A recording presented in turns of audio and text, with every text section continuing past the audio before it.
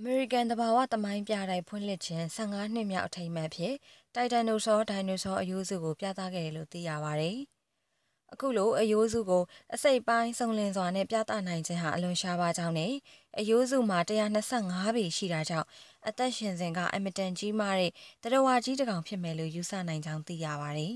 ။အလေးချိန်အဖြစ်တန်ပေါင်း80ခန့်ရှိတဲ့အဲ့ဒီအယိုးစုကိုစိတ်ဝင်စားနဲ့လာရောက်ကြည့်ရှုကြသူလည်းများပြားတယ်လို့သိရပါတယ်။ အာဖရိကတိုက်ရှိစင်အကြီးမျိုးထက်များစွာကြီးမားပြီးတော့အရွယ်အစားပုံမှုကြီးမားတဲ့တိုက်တန်နိုဆောမျိုးနွယ်ဒိုင်နိုဆောရုပ်ကျွန်းလည်းဖြစ်ကြောင်းသိရပါတယ်ရှင်။